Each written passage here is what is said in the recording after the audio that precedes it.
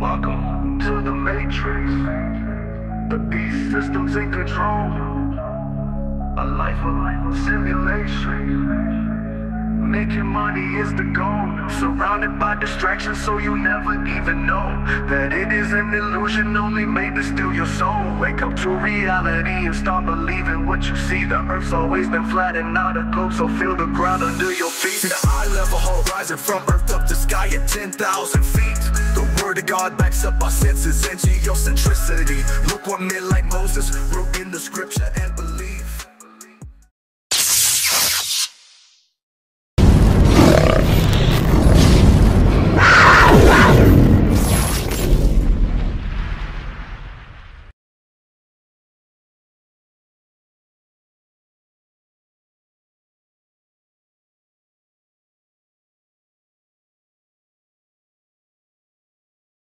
What's up, Kingdom fam? This your boy Remnant Warrior.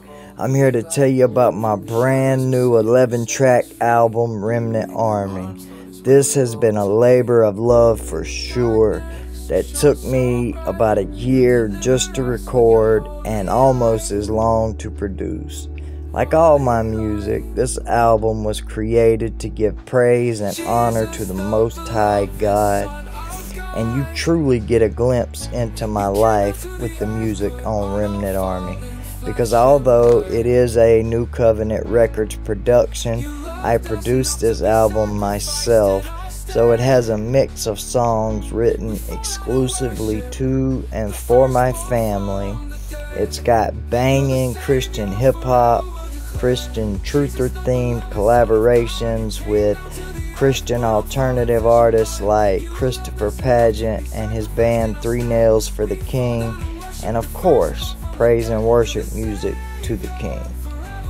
You can purchase this album at 150 different online or brick and mortar stores for $10.99 a piece, or you can email me directly and buy a digital download of the album from me for a discount of 50% off, which is $5.99. I hope that you will take the time to check out this album, if not by buying it, at least by streaming it. I've been working on this album for almost two years and it is finally here. I'm so excited to share it with all of you.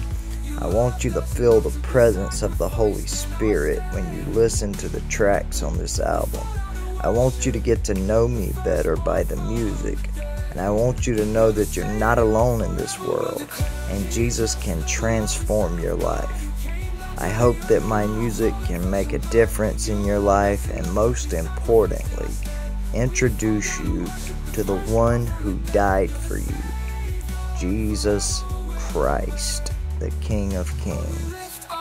You can purchase the album now for only $10.99. Just click on the link below, or you can get your own digital download directly from me for half price.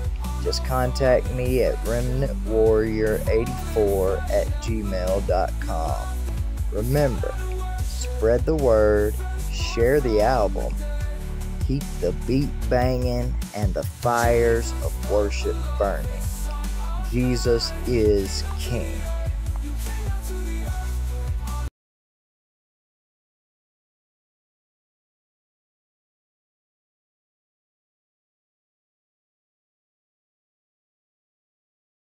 Creature from Jekyll Island, which recounts a secret meeting that took place in 1910 on Jekyll Island, a stretch of white sand beaches and beautiful landscape off the coast of Georgia. It was an exclusive gathering of American financiers, politicians, and banking elite who covertly plotted the draft legislation for the creation of the all-powerful central banking system that not only financed both world wars, but has become an accomplice in the support of totalitarian regimes throughout the world. An excerpt from the book claims that, quote, there are few historians who would challenge the fact that the funding of World War I World War II, the Korean War, and the Vietnam War was accomplished by the Mandrake mechanism through the Federal Reserve System. An overview of all wars since the establishment of the Bank of England in 1694 suggests that most of them would have been greatly reduced in severity, or perhaps not even fought at all, without fiat money. It is the ability of governments to acquire money without direct taxation that makes modern warfare possible, and a central bank has become the preferred method of accomplishing that. We theorize a strategy dubbed the Rothschild formula, in which the world's money cabal deliberately encourages war as a means of stimulating the profitable production of armaments and keeping nations perpetually in debt. This is not profit seeking, it is genocide. It is not a trivial matter, therefore, to inquire into the possibility that our elected and non-elected leaders are, in fact, implementing the Rothschild formula today. While there's been some movements to combat this globalist totalitarian network, which has not only financed communist revolutions around the world, such as in Russia, China, and more recently in South Africa, which were all triggered by engineered social uprisings aimed to remove existing power structures using class warfare and amplifying socio-economic and racial tensions enforced by a banker-controlled media. We can see the same pattern played out in America today, where manufactured civil unrest is used to erase history and promote cultural Marxism, in a nation which already promotes falsehoods in schools, starting from its name, which was not really based on the explorer Amerigo Vespucci, whose authentic name was actually Alberigo Vespucci, who only changed his name to Amerigo after his voyages to the Americas. In other words, Amerigo came from America and not the other way around. Not only was there an existing tribe in Nicaragua called Americ, whose root word was the ancient name for the land used by the natives of Peru, also known to the Maya civilization and attributed to the great feathered serpent creator deity, which they called Kukulkan, a deity which also had an equivalent by the Aztec civilization. According to Manly P. Hall, in his book The Secret Teachings of All Ages, quote, These children of the sun adored the plumed serpent, who was the messenger of the sun. He was the god Quetzalcoatl in Mexico, Gucumatz in Quiche, and in Peru he was called Amaru. From the latter name comes our word America. Amaruca is, literally translated, land of the plumed serpent. The priests of this flying dragon, from their chief center, they once ruled both Americas. One of their strong centers was Guatemala, and of their order was the author of the book called Popol Vuh. Many Mesoamerican and native Indian tribes also record in their oral traditions encounters and conflicts with giants, or at least very tall people in the past. I also covered this topic in several videos, showing documentation regarding many discoveries of giant skeletons, which have been published in newspapers, and then seemingly forgotten to history, except for mythology, or mentions of giants in the Bible. In many biblical interpretations, the serpent is synonymous with Lucifer, the fallen angel thrown down by God, which literally translates to light bearer, a symbol which can be found in many parts of the ancient, pre-Christian world. In his book, The Occult Connection to The Hidden Race, author Ken Houdal proposes that, quote, then perhaps the land of the plumed serpent may also be known as the land of Lucifer, concluding that America means the land of Lucifer. While this interpretation may sound like a real stretch for many, it's an interesting concept when considered from the perspective of an interview that I recently stumbled upon suggested to me by one of my subscribers, which uncovered some interesting details regarding the secretive meeting on Jekyll Island and events that led up to the creation of the Federal Reserve.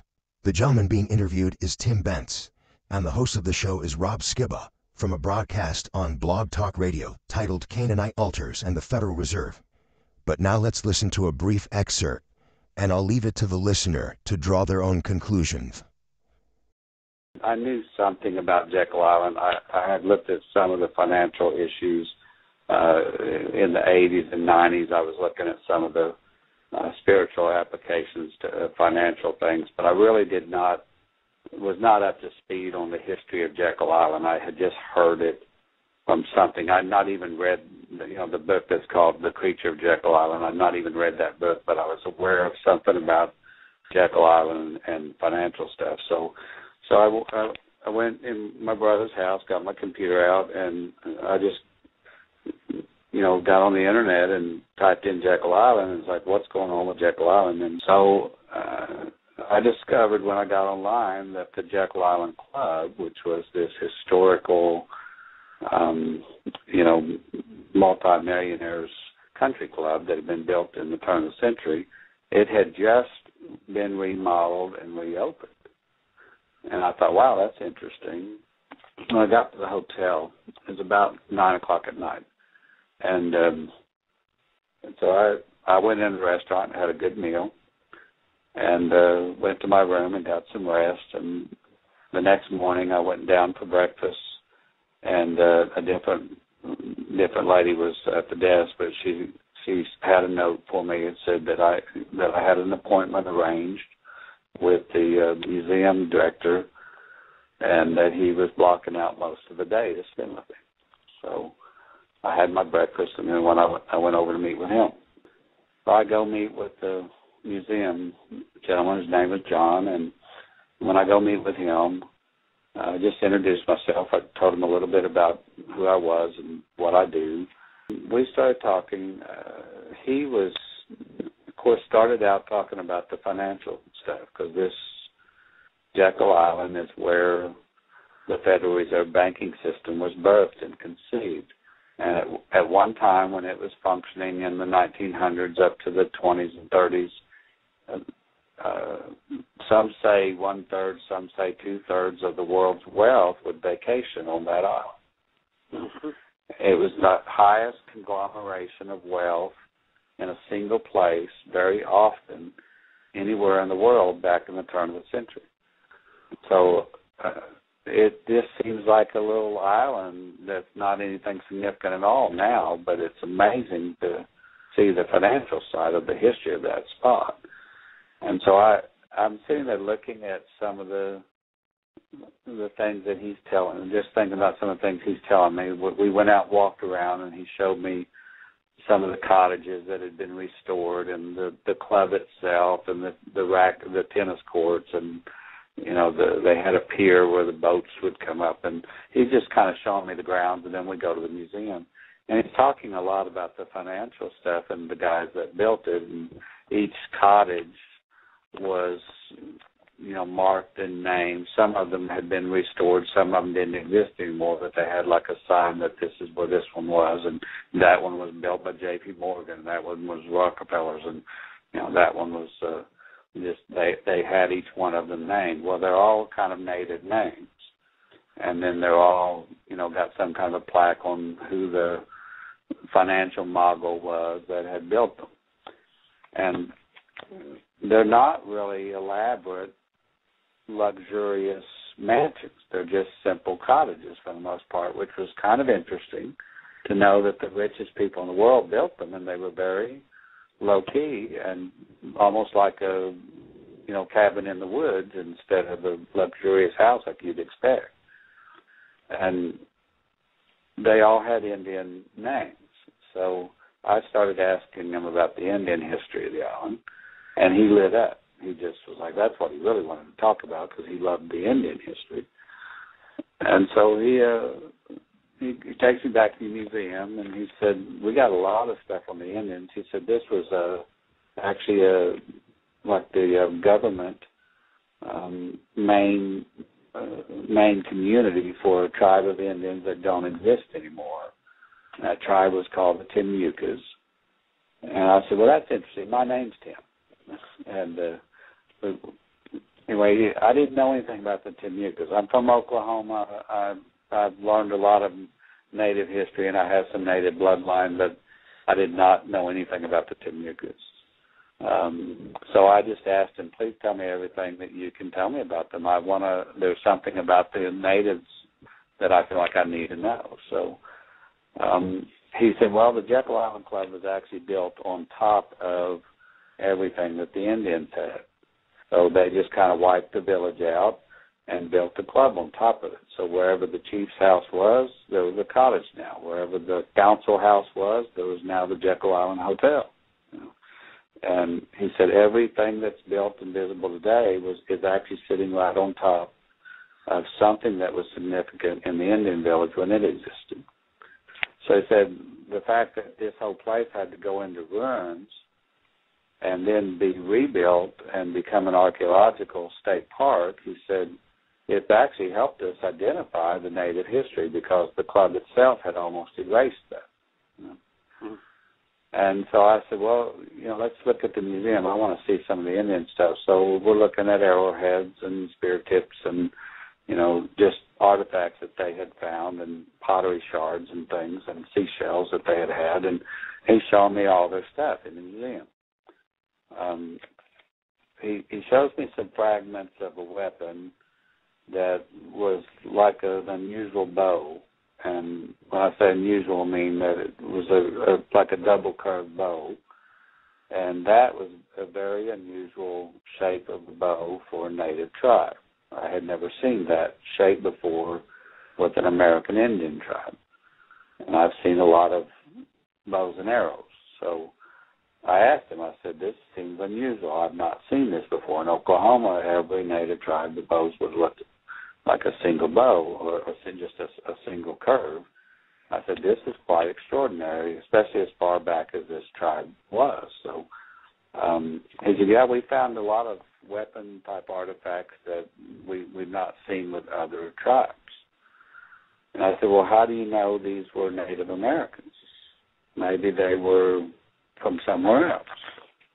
He said, "Oh no, no, no. They they were Timia because they you know they they're well established along the Florida and Georgia uh, coast, and he said we got a lot of stuff in in three or four states about them, and they were quite prolific at one time. So he said we know they're Native Americans. I said, well, all right. What else you got? He said, well, we got some skeletons. He said, "Do you want to see the the bones? And I said, well, yeah. You know that sounds. Don't get to see a skeletons very often. I said, are they where we can actually see them or are they buried? He said, no, they're visible. So they had a burial site that they had been very respectful for when they built the museum. When they found a burial site, they didn't move the bones. They left them where they were, and they just uncovered them to where they were visible, and then they built the museum on top of them. They did basically the same thing with the museum that the Jekyll Island guys had done with their houses they put a piece of plexiglass over the burial site so you could see it, but they were still trying to respect where the bones were and not move them. And so I'm looking at four skeletons of the Timucua chiefs. And uh, they knew they were chiefs just from different things that were buried with them. So all of a sudden I look and I realize, man, these guys are really tall. And I commented to the guy that you know, how tall are these guys? They look unusually large. And he said, yeah, they're all about eight or eight and a half foot tall. I thought, well, that doesn't seem like a normal Native American, especially the tribes that I'm familiar with. He said all the Timucuas were unusually tall, even the women. And he said we found other skeletons and you know parts parts of bones out in the grounds, and he said uh, we've got pretty good evidence that nearly all of them were extraordinarily tall. And I said, well, what is, you know, what? How do you explain that in relation to other tribes on the Atlantic coast who were not? He said, I don't know. It is an unusual anomaly. He said, oh, by the way, I've got a painting that you might want to see. It's actually the copy of the original. We've got it under lock and key. But he said, I got a painting that that actually shows the Indians uh, from a, a, a, group of French colonists that came to the United States uh, before it was the U.S. This was right after Columbus. He said that it was the first colony of French uh, folks that came over to try to establish a colony on the coast. And he said they landed in Jekyll Island and they had some interaction with these Indians. And then they got so uh, appalled by what they saw and witnessed that they fled at night and ended up in San Augustine, Florida, and established that city. So I said, were they the Huguenots who were the French group that established San Augustine? He said, yes. I said, well, I'd like to see that painting. So he pulls that out. I'm looking at it, and it shows the Indians and all their regalia, and they're dancing around and having some kind of a ceremony, and it's got the fire, and it's got just it's a typical either they're having a party or they're having a war scene, and and it it has um, some things with the weapons. So I said, gosh, this has got some weapons in it that clearly validates the archaeology that they found. And then I see an altar and I'm going, I don't know of a Native American tribe anywhere in the country. I know some that had log houses or high places or worshipped, you know, nature in some way or had totem poles or that kind of stuff, but this one has a stone altar and it looks a whole lot like the one that I had dealt with in the Middle East. And I'm looking at the picture and I'm going, is this an altar? Is this stone like something they're sacrificing on? Because this guy's holding a baby in his hands in this picture. He said, yeah, they're cutting those babies, they're hacking those babies up in that painting. And so what, when you look at the details, two of the shamans or chiefs are holding a baby up by the ankles and they're whacking their heads off and spilling the blood on this altar. Mm. And I'm like, sir, I, I don't want to be disrespectful of your training and archaeological understanding and history, but I don't know of any native tribe that did what I'm seeing here, unless it was a, an act of war. And this is really, really unusual. And I've seen this type of scene with artifacts over in the Middle East. And I've seen weapons like this over in the Middle East. I said, Are you sure this is Native Americans and not some kind of colony that came from over there? And he he was convinced they were native and I said, Well I'd like to show you some things on a few websites that identify artifacts in the in the Middle East countries and especially Egypt and Israel and Syria and Jordan area and some of those spots where there's some of these ancient groups and I said these this type of altar this type of religious ceremony and some of these weapons, I've seen them before over there. Well, he was quite interested in that because he loves Native American history, but he's starting to question, you know, maybe I need to dig into this more. That's that was his comment. So I said, at that point, then I thought, I believe this is why I'm here. I needed, I needed to see this and and hear about this. Um, you know, at this point, I'm not that concerned about the financial stuff anymore. I'm wanting to know where is this altar. And so I asked him. I said, "Can you can I can you take me to this altar?" Uh, I often pray over these things, and it's very beneficial for the land and for the country and for the people. Can can I go to this altar and see it? He said, "I can take you to the altar, but you can't see it." I said, "Why can't I see it? Is it buried? He said, No, no, it's not buried, but it has a house built on top of it. I said, Who would be crazy enough to build their house on top of a blood sacrifice altar? He said, Well, Rockefeller was. So, nice. You know, I just like, okay, uh, can we go there? And he said, yeah, just a short walk. Come on. And we've actually, you know, I'd already walked by it. So he said, uh, I've got the keys. He said, normally nobody can go in. Um, they, the, the way these things are set up, they're historical homes now. The state of Georgia owns the park. Uh, they lease out another group, the hotel, to run, but the houses are maintained on the National Historical Register and they're part of the state park. So you can't go in any of them without a guided tour or permission, but you can go look in the windows and walk on the porches and walk all around them. And they're they're set up inside just like they were when they were actually being used in the back in the twenties and, and earlier. So uh, we we go over there and he's got the keys though. So we go into the house and he takes me into the parlor and he says, Well, I know you're, you're a praying guy, so you probably would like to have a little time to pray. He said, You're standing right on top of the altar right now. This is the room that is built on top of it. He said, I'm just going to go over here and sit down for a few minutes and read the newspaper, and I'll let you pray and do whatever you need to do. Now, this parlor, that's where that's where those guys, J.P. Morgan and all those guys, actually conceived of the Federal Federal Reserve, right? Right over that altar.